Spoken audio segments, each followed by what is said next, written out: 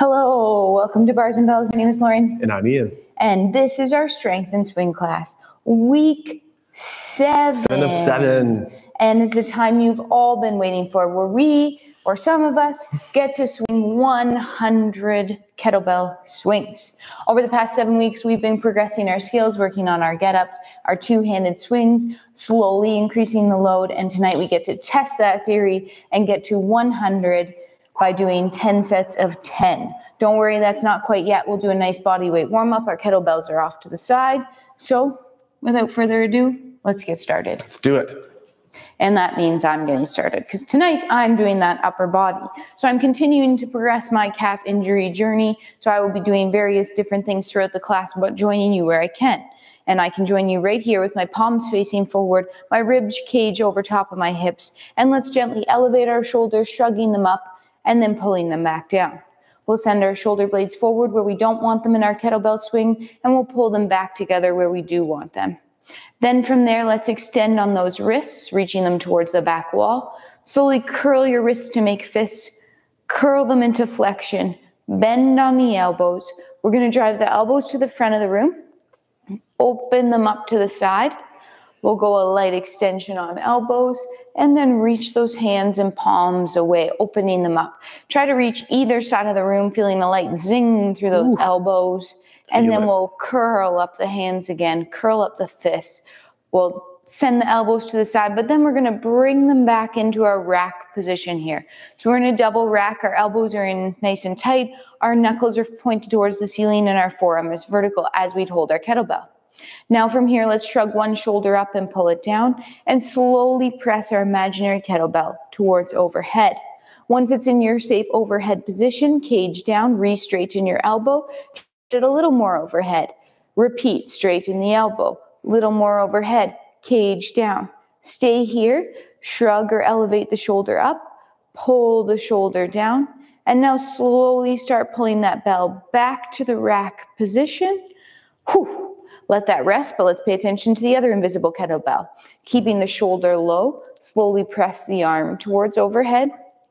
Once it gets there, keep the elbow nice and straight. Shrug the shoulder up, pull the shoulder down, keep the elbow straight. Try to get it a little more overhead, cage down. One more time. Shrug up, pull down, elbow straight towards overhead, and then part, start pulling the sky down all the way back to double rack.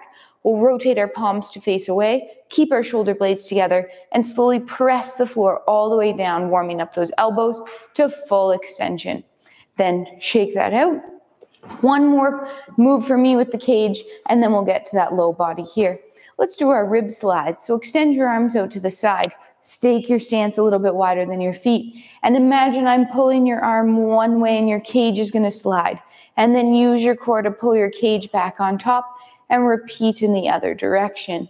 Pull here from side to side, using that core. And the other side.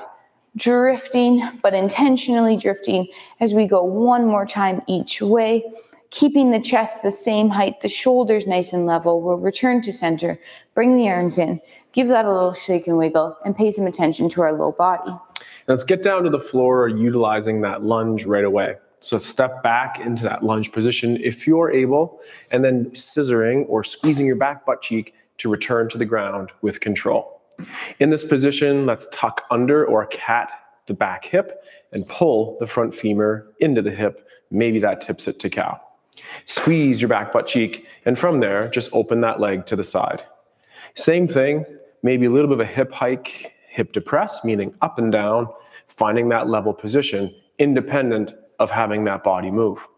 Then from here, let's do a rotation at the head neck to look over the knee and a torso turn to follow. We'll hinge on the hip, placing the hand down, fingers calluses hand. Then at the head, look so that your nose looks at your thumb, and then turn the torso that your sternum or your heart faces the floor. Then at the head, rotate to look at the sidewall, and then turn through your body very much like a get ups position. And repeat one more time of the head to the nose on the ground. Oops, that's a thumb down there. And then we'll turn our torso, sternum face floor. Head first, it rotates, then turn the torso, then push the ground away, and return the head to look straight ahead, then the torso, and then that side leg. return it underneath, and repeating the same thing on the other side.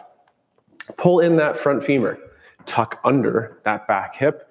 Again, incorporate that glute squeeze to stay strong on the trailing hip. From here, we'll just open that leg out to the side between that one and two or 10 and 11 position, and a little bit of a hip hike here, independent, again, of having the body move. Find that nice level position for you, and at the head neck, rotate to look over the knee, then turn the torso. Then we'll just hinge the hip right away, finding fingers, calluses, and full hand on the floor. And at the head neck, rotate to look at the thumb. That's that thumb down there. Got your nose. And then turn the torso. Look with the head first, turn through the shoulders. In this moment, we're aiming to keep that shoulder blade pulled down or a nice open shoulder. And then one more time, rotate to the ground, head first, torso to follow, and returning to the tall position, the head first, then the body, push through the hand, and reset the head, the torso, and then that leg to the center and down.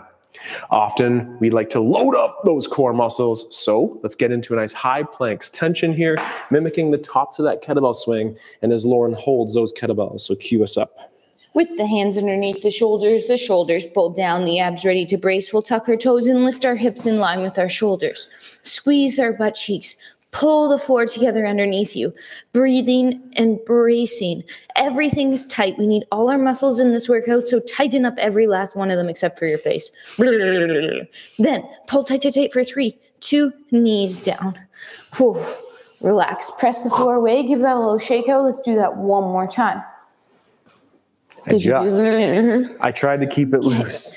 I tried to keep a straight face while keeping it loose. Up into that plank position. Ready? Everything's tight. Go.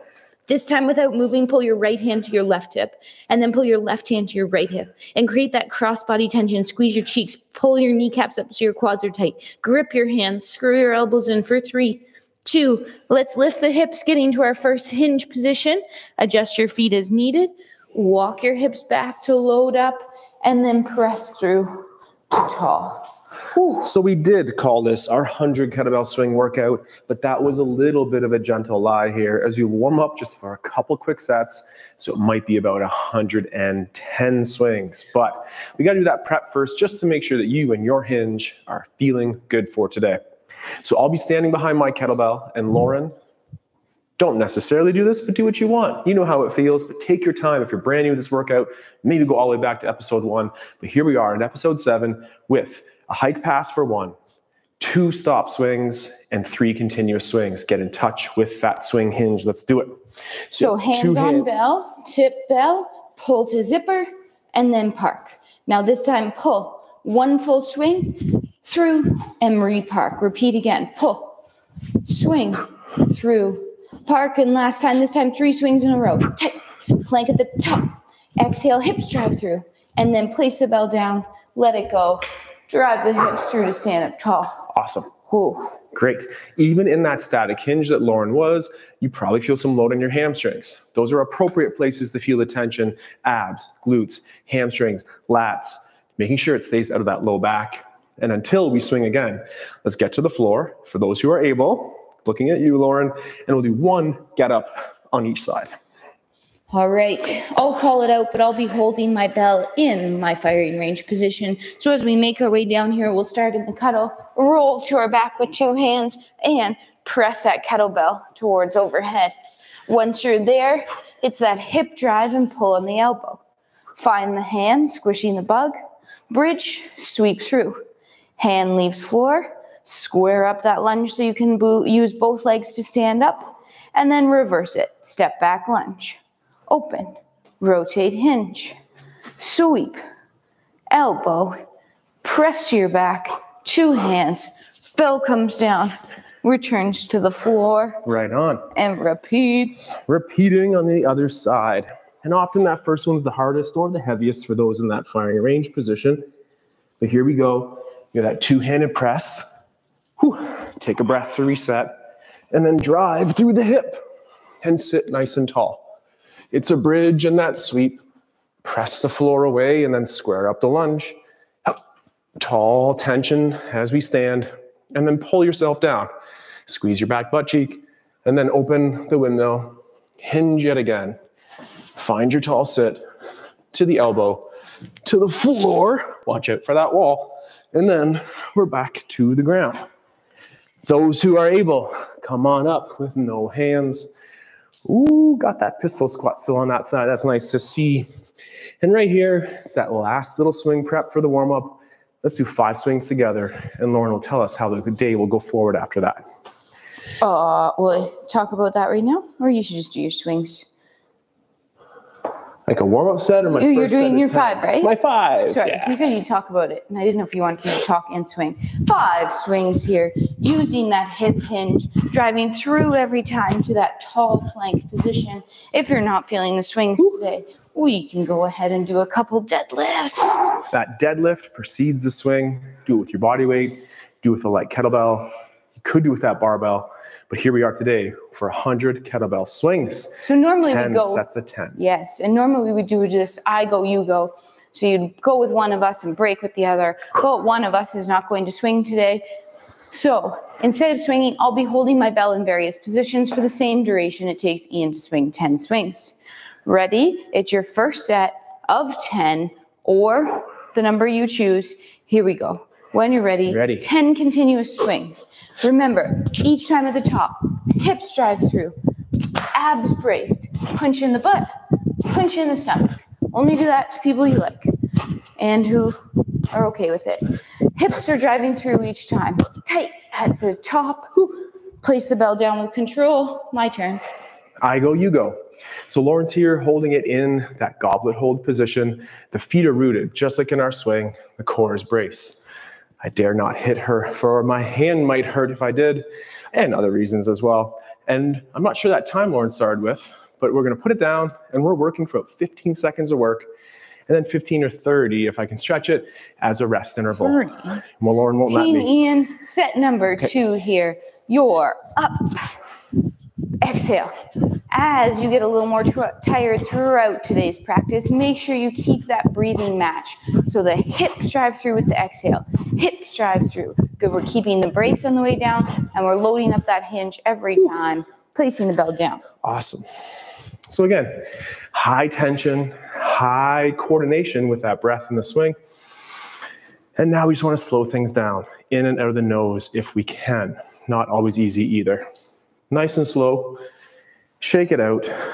And when Lauren puts that down, and I'll just keep talking till she Team looks Ian. at me and says, Go. number three. Here we go. I'm feeling a lot of pressure to remember which number of set we're on here. It's like I've become the counter tonight, which can go well and cannot go well. So you are rounding out this third set here with 10 strong swings. Remember, if 10's too many, do a number that's less than 10 and try to stick with us, even if it's 10 sets of five. So avoid saving those repetitions. Use them all in a safe way versus going a little bit easy just so you can make them all. It's better to do five high quality reps than 10 so so reps.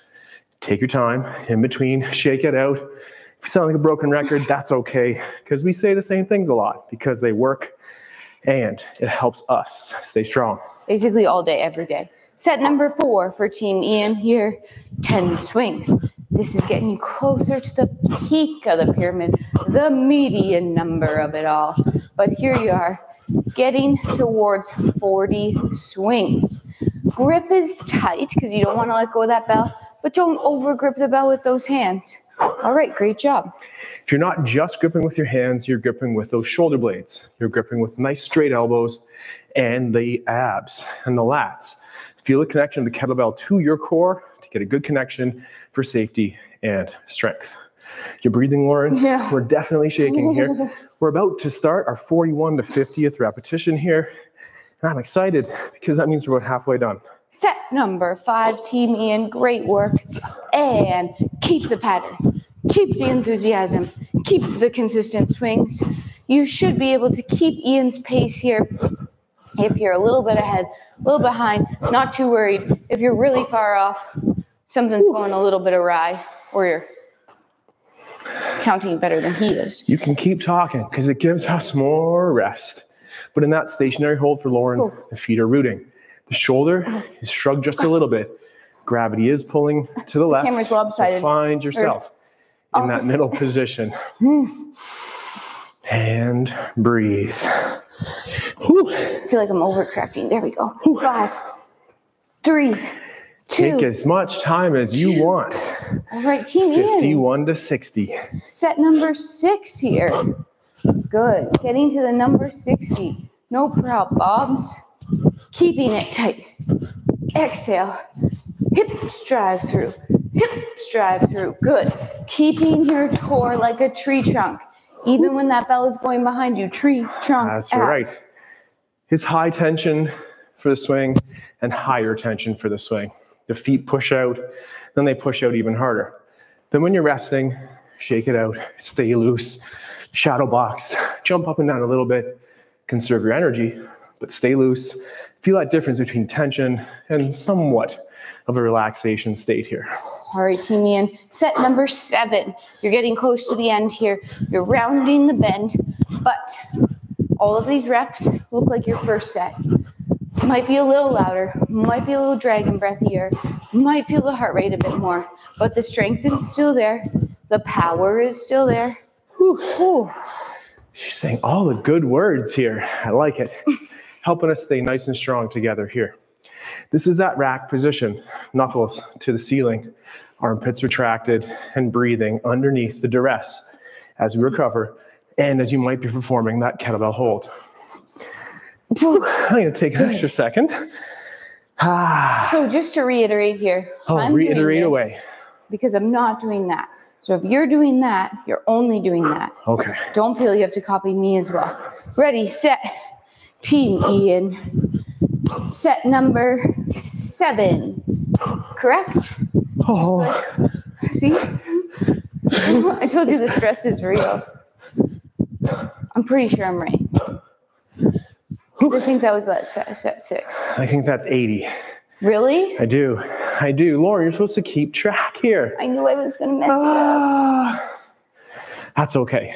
That's okay. Actually, I know how we can keep track. Well, if Lauren can come up with the right answer, we'll stick to it. You're right, that was eight. Okay, good. Based on my holds. only. Based on my Not goals. only two more sets. So thanks. Keeping track of more important things like taxes and you know bills and payments, accounts receivable and payable.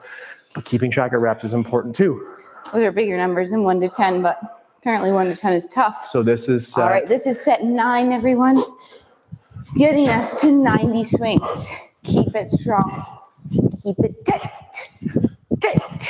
Make sure those hands stay intact. You still want to practice next week. So don't go ripping those hands open just trying to get to 100. Whew. Ooh, is right. Let out a nice cathartic sigh. Take a deep breath in, deep breath out. And honestly, it's challenging, but I'm finding myself getting into that groove now. Not always easy, and not always your experience, but find that number that you get to feel challenged, but ultimately finish with integrity. So, with that said, here we go. Team me in one more set, and then I have one more low carry when you're recovering here. 91, 92, 93, 94, 95, 96, 98, 99, 100. Super job, everyone. Super job. seven weeks in the making together with you here, but also many years in a row getting together with this type of a load. I was able to do that with our 32 kilogram load. And last time we did the same test last year, I used the 24, finding those ways to do the same thing, but making it harder and variable with that introduction of a heavier load or more time under tension. So, as you breathe with Team Ian here, let's take that nice inhale for four and exhale for four. And inhale for four and exhale for four. One more time. In for four and out for four. Now, this time, in for four, hold for four, exhale four. Hold empty, four. In for four. Hold for four. Exhale for four. Hold empty for four. In for four, one more time. Hold for four. Exhale for four. Hold empty for four. And relax. Holy, nice work. Not quite done. Not quite. If we can return to that get up, let's do it from the top down this time, integrating the overhead press, practicing those on our Thursday session on the other side with the bar. But here we are, integrating a press. Lauren will hold that bell overhead for the entire duration that we do our get up. Press up overhead, down and up, counts as one. Let's do it. Let's do it. So we'll pull that bell to the rack position, taking a big inhale and pressing it overhead. And we'll hold, oh no, you're doing it again. I'll hold it for you here. As you work yourself down, keep breathing as needed. Use your elbow to push away to your back and then come back up, keeping that belt up to the elbow, to the hand. That bridge sweep, get in that lunge position, looking ahead. Once you're standing, control the pull down. And then two hands, placing it down. Awesome. And then we do one side, we'll try to do on the other. It's that hip hinge to start, a pull to the rack, full body tension, and a press. Leg you can touch, drop back in the lunge. Open, this is that windmill in the warm up. Sit tall, find the elbow, return to your back. Then drive, sit tall, sweep, press the floor away, square up the lunge, tall stand, pull down, and return to the floor. Do you have one more set on each side? Do you have one more? I do. Let's do it together. Or finish with that task that's appropriate for you an overhead hold, rack hold, suitcase hold. Let's do it one last time. One more time. Hip hinge. Inhale, prepare, and press that bell. Nice, Lauren. And then your full get up down. The leg you can touch, the hinge, the sweep, the elbow, and back. Keep the bell up, return to the elbow, to the hand. Bridge sweep. Step through both legs, up together, pull down, and park. One more time. Nice. The last little routine today, and then you can celebrate with some water. Hip hinge. Sounds good. Inhale and and maybe tacos. We're having tacos tonight. Step back, lunge, open up, rotate hinge, sweep, looking at that bell as you steadily turn to your back, and then come back up. Elbow, hand, bridge sweep, press, step, hop, control the down, and then two hands, and park the bell. We did it. Did it. It wasn't easy. It wasn't as we predicted when we set up these seven weeks, but together with you, we did it. So thank you very much, Lauren, for sticking with it. Some days, I didn't really want to do this, to be honest, but Team Lauren, Coach Lauren, rather, helped the team make sure that we stayed together and stayed stronger. So thank you, and thank you. Thank you, and thank you. And we are taking a rest week, so everybody should just enjoy a week off or go back in the archives and check out one of the 3,000 videos we have there that you could do in your own time. But in our week off, we will be making sure that calf is mending, eating some delicious food, sleeping in a little bit, and doing a light workout routine just to keep ourselves moving. the following week after that, we're back with another weeks of semester classes. So stay, stay tuned for those live on YouTube. But on Thursday, of course, we have one more round of our plie and press workout, getting those hips and those presses going. So check that out. Check out our website, our blog entries, and our Patreon page. And until next time, take care Stay strong. and let's train soon. Take care. Goodbye. Bye.